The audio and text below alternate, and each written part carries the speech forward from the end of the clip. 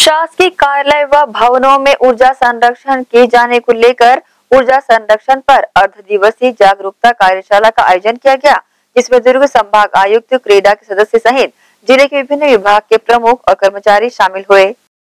ऊर्जा दक्षता bureau, BEE, Bharat सरकार के द्वारा ज़िले में छत्तीसगढ़ राज्य अक्षय ऊर्जा विकास अभिकरण क्रीडा के सहयोग से शासकीय कार्यालय भवनों में ऊर्जा संरक्षण पर अर्ध दिवसीय जागरूकता कार्यशाला का आयोजन मालवीय नगर दुर्ग में किया गया, जिसमें ज़िले के विभिन्न विभागों के विभाग प्रमुख एवं कर्मचारी उपस्थित रहे।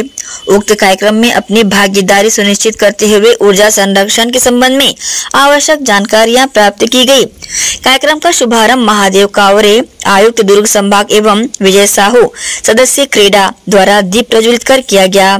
इस अवसर पर ऊर्जा संरक्षण विषय पर तथ्यात्मक जानकारियाँ भी दी गई।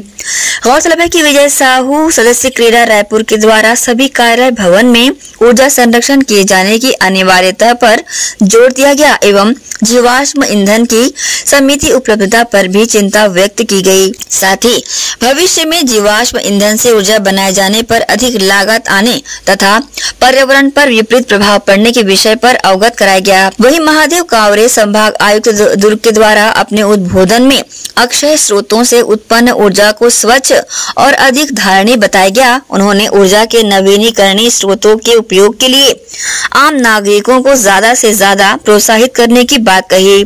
उन्होंने आधिकारिक डेटा के आधार पर बताया कि रिन्यूएबल एनर्जी की लागत लगभग 15 पैसे पर यूनिट आ रही है।